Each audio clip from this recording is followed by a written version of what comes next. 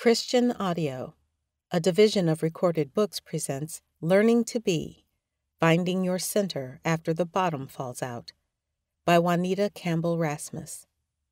Forward by Tina Knowles Lawson. Narrated by Machelle Williams. Forward Tina Knowles Lawson. To give light to those who sit in darkness and in the shadow of death to guide our feet into the way of peace. Luke chapter 1, verse 79, New Revised Standard Version. Luke chapter 1 verse 79 speaks of God's mercy shining on us in times of great darkness, a light strong enough and bright enough to guide our feet toward peace. I've experienced this light in my faith walk and with powerful, resilient people like Juanita Campbell Rasmus, a woman I met in 1986 when I opened my first salon, and she became a faithful client. She set an example for the power of prayer and worship, and I later became one of the first members of St. John's Church. Over the years, I've witnessed Juanita navigate the highs and lows of marriage, motherhood, ministry, and womanhood. I've seen her journey from the self professed good girl to a leader who wholeheartedly seeks God with a level of authenticity, transparency, and grace that is unmatched. And in this book, she inspires us to do the same. In Learning to Be, Juanita invites us into one of the most intimate and revealing spaces of her life, which was her battle with depression, the crash. Juanita doesn't close the door or sugarcoat her episode. Instead, it's an eye opening and entertaining read that encourages us to navigate from our own version of the crash and discover what an authentic relationship with ourselves and God looks like as we shed the pretenses and walk in God's infinite light. We aren't meant to dwell in the dark, but darkness can be an indicator, helping us to ask the tough questions and take one faithful step at a time toward being all God created us to be. I can't imagine another person I'd want to usher me through such an intimate and raw journey. I'm thankful that a book like this exists. Whatever brings you to this book, I pray that it will bless you on your journey. 1. The stress of living in a do, do, do world. It felt as though every nerve in my body was popping. Imagine large, strong hands slowly applying pressure to a family sized package of uncooked spaghetti noodles. I was the spaghetti, breaking down one piece at a time. It was a morning like any other. On August 27, I got up and cooked breakfast for my husband, Rudy, and our daughters, Morgan and Ryan. The school year had just started and the girls were excited. I called them to the table, and as they sat down, I rushed to the bathroom to put on my makeup before I took them to school. Hey, I'll take the girls this morning, Rudy volunteered. Great, I told him. That'll give me a few more minutes to get ready so I can finish my makeup in the restroom instead of the rear view mirror. We laughed. Rudy and the girls finished breakfast, and we all said goodbye with our usual hugs and I love yous. I finished putting on my makeup and then opened the bathroom door to leave. Without warning, a horrible wave of nausea swept over me like a bad flu. I felt so sick I could hardly walk or think straight. I'd never felt anything like it before, but I knew I couldn't go anywhere that morning. I called the office of St. John's Church and asked our secretary to reschedule my early appointments. If I lay down for a couple of hours, I'm sure I'll feel better and be in this afternoon, I told her.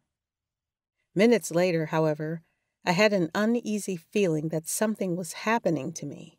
I watched my hand pick up the phone as if I lacked control over it and hit the redial button. When my secretary answered, I mumbled almost incoherently, I'm not feeling well and I don't know when I'll be back. I'm taking a leave of absence or medical leave or a sabbatical or something. And I hung up the phone. I struggled back to bed and lay there feeling like every nerve in me was short circuiting. Days passed with me in bed, overwhelmed by a sensation of falling, spiraling, and spinning into a pitch black tunnel day after bleak day. I felt sheer panic as I tried to reach out to grab something, anything, to stop my fall. But my hands found nothing to hold on to. The feeling was so intense, all I could do was hope that I would finally hit bottom. I never saw it coming. Around our house, that awful day is called the crash. Now that I have had time to reflect, I realize that it had a catalyst. A complex mix of stress, disappointment, grief, compassion fatigue, vicarious trauma, and discouragement had been building up for weeks, months, and years, but I discounted the warning signs.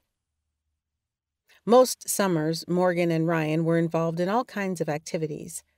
For some reason, the summer of the crash was different. Normally, my summer workday ended at 3 p.m., which allowed me to pick up the girls from camp or wherever they were. That summer, however, the girls came to church with my husband and me every day. I served as co pastor with Rudy.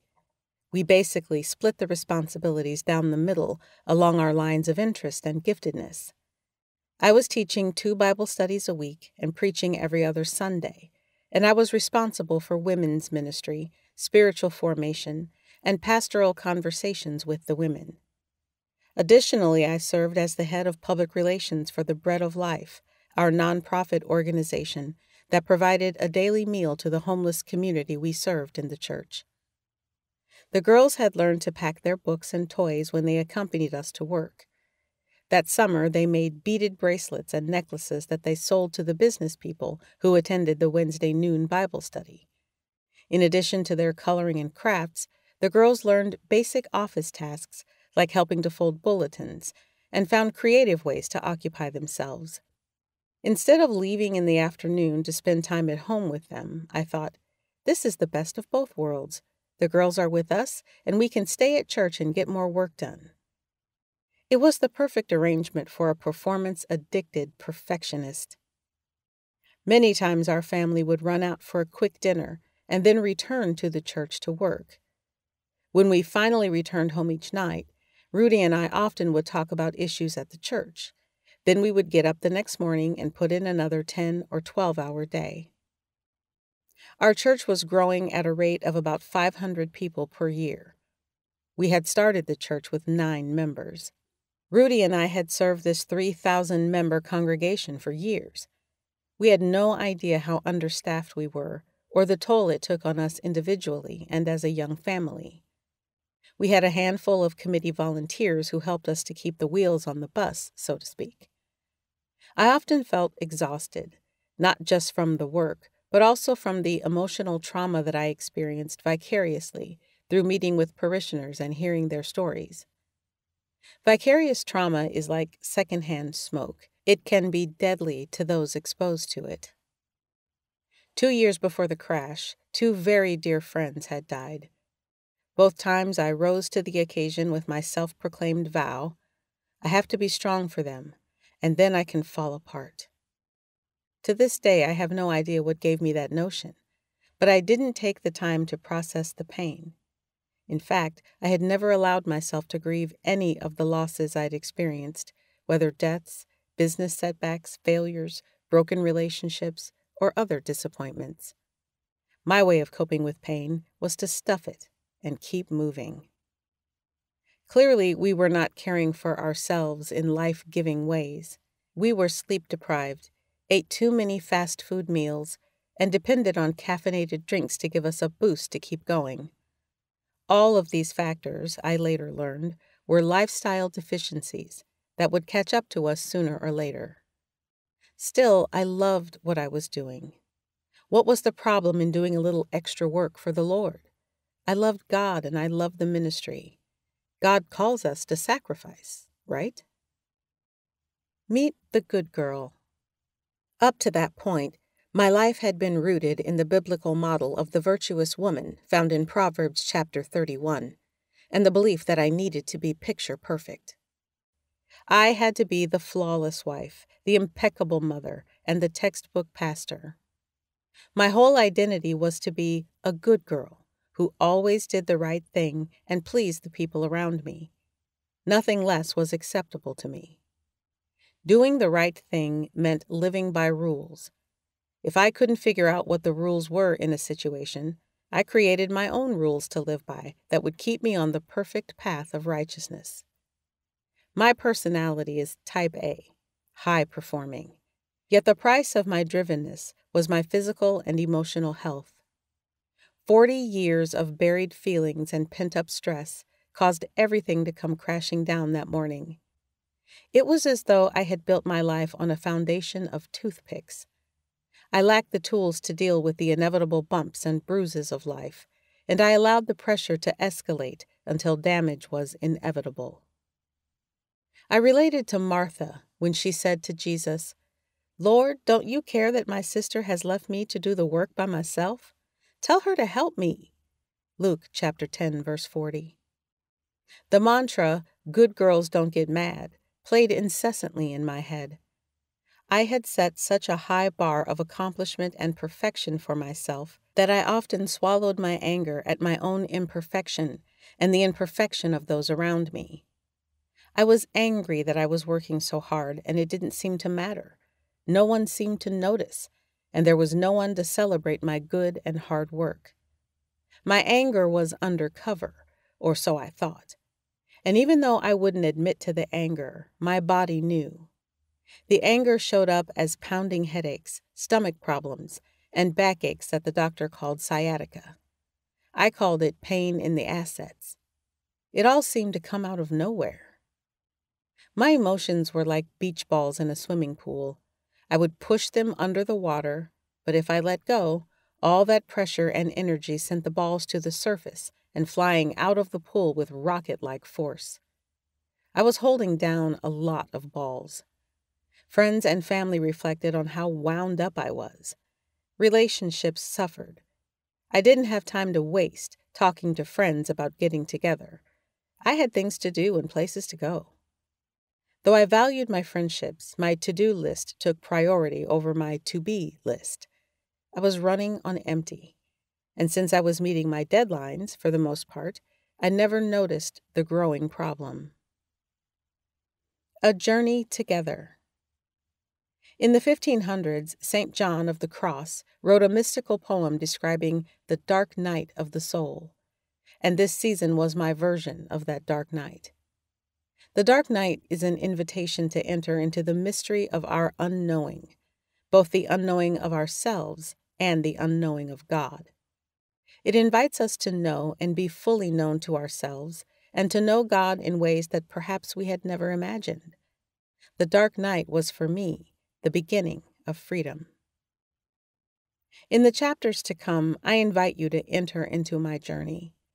I'll explore how I arrived at this place, how things grew worse, and the spiritual practices that brought me to the other side.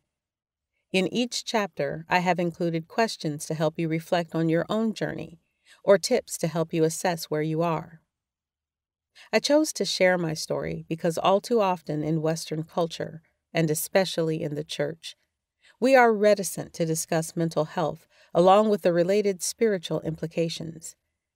It is my hope that telling my story will shed light on the resources available to someone in the aftermath of a mental health diagnosis or any devastation that affects one's well being, and provide courage to wait in the darkness, because often that's where the real treasures are stored.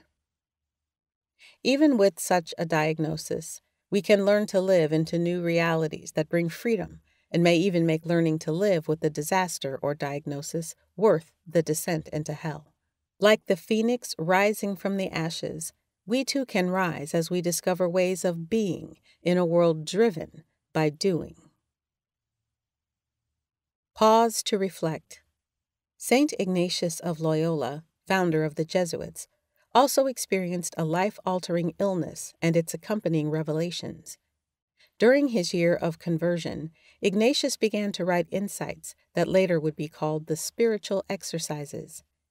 Ignatius believed that the chief need in the busy world of Rome was a daily tool to observe or to pay attention to one's life and his exercises teach the practice of examen. I offer the pause to reflect at the end of each chapter as a means of inviting you to stop briefly and reflect on what may be roused as you move through my story. As Socrates noted, an unexamined life is not worth living. I encourage you to practice the examen as you read this book by reflecting each day in a journal, or perhaps on your phone by asking yourself, What gave me life, awakened me, or moved me in this reading or during the day? Or how did I experience love? Jot it down. Next, ask, What challenged me, left me puzzled, or stirred me? Where did I feel the absence of love? Jot it down. Then, after reflecting on both, give thanks for the awareness that each offered. One of the gifts of reflection is the invitation to do more of what gives you life and less of the things that are not life giving. Have you or someone you loved experienced depression or a mental health diagnosis? What beliefs did you have about yourself or the person with the diagnosis? As you journal and experience your awareness, notice any stigmas or preconceived ideas you may have about mental health illnesses. Stay open to new ways of seeing as you move through this journey of learning to be. 2. Who am I? Over the next months, as I lay flat on my back in the midst of the darkness and the silence, the Holy Spirit gently asked me, Who are you? I would have laughed had I been in my normal mind, yet the question was so poignant it pierced through me like a hot knife cutting through butter. I almost said, Well, if you don't know who I am and I don't know who I am, then Houston, we have a problem. I wanted to say, I'm Rudy's wife. I am Morgan and Ryan's mother, and run down a list of the roles I play in other relationships. But at that moment, I knew that it might be wise to toss the question back to God to gain some real clarity. God was present in the question. I was sure of that. Who am I? There is the story I had been telling myself of my identity, the story my parents had told me, the story my grandparents had told me, the story I learned of myself while I was in elementary school, and the story the neighborhood kids and my cousins told me. It was amazing that I hadn't combusted before then from all the internal contradictions.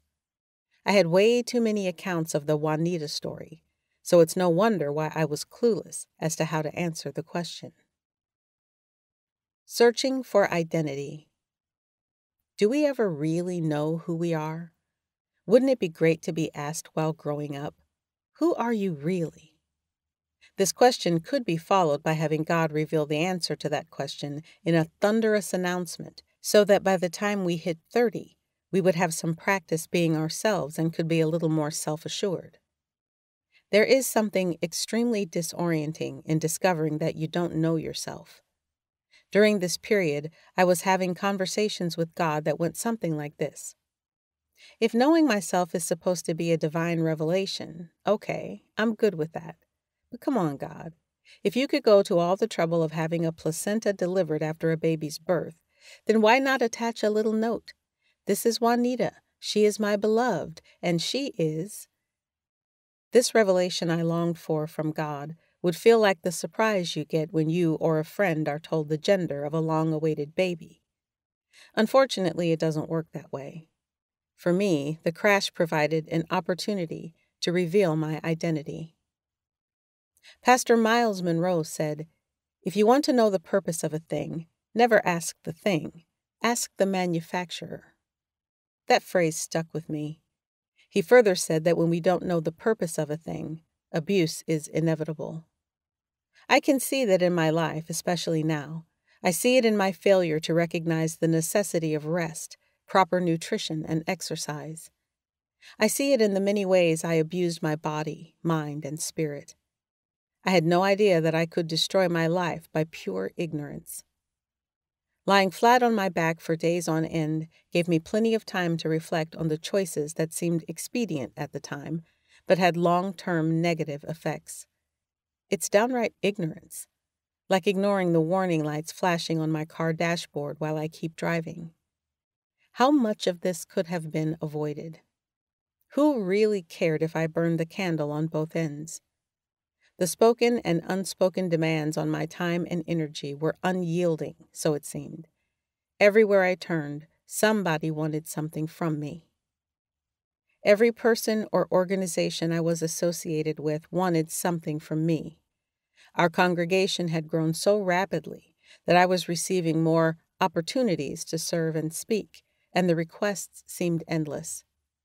Teachers wanted my kids at school on time, homework in hand, and I seem to have a flexible schedule, so, Mrs. Rasmus, could you go on the field trip tomorrow? Or, could you volunteer to help us with the science fair this year? Directors of after school activity programs wanted me to turn in the money from the candy sale that supported their work. My church wanted me, and I thought that I needed to be available to the church. No limits, no holds barred. So I gave my life over to my job because, after all, I work for God. It isn't that any one of these expectations and requests were unreasonable or unpleasurable.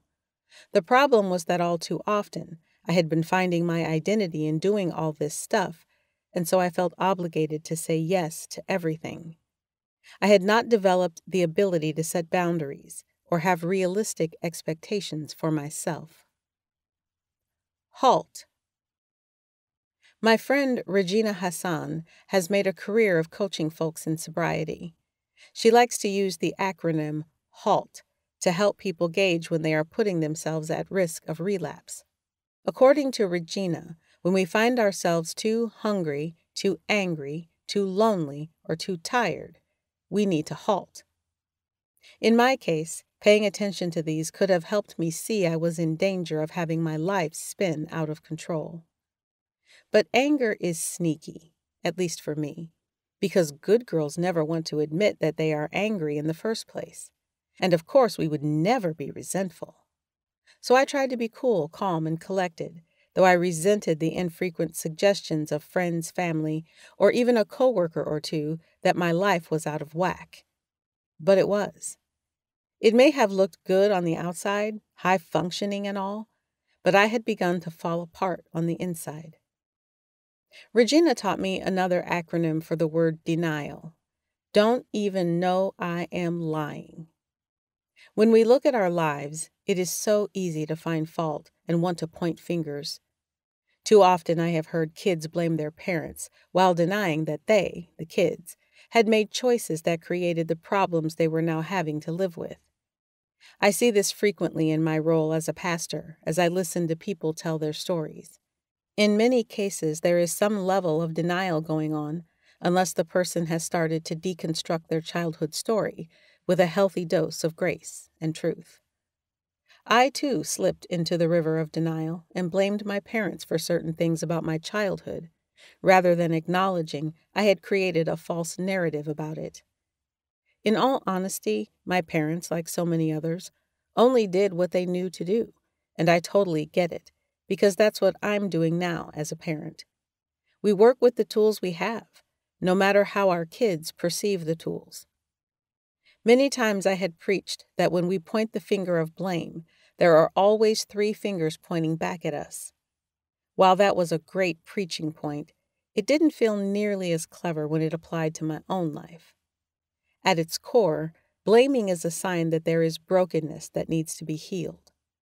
I am clear that my crash and its results were not about my parents, but about finding out who I was deep down beneath the story that I had constructed about my life a story of denial and blame, a story that only I could edit and transform. God has the most incredible ways of revealing our brokenness. But God wasn't done yet. No, not the prodigal. I'm the other one. Just a couple of months before the crash, I read the story of the prodigal son, Luke chapter 15, verses 11 through 32, as I prepared for a sermon. I meditated on the text for a week. There was so much in it that unnerved me. I had always understood the parable as the story of a son who had taken his share of the family wealth.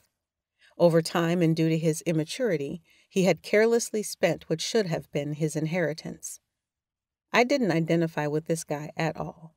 I was furious. How dare he make unnecessary demands on his parents and fly the coop, leaving his brother to take care of the parents and the payments on the indebted estate, and abandoning his brother to run the family business alone.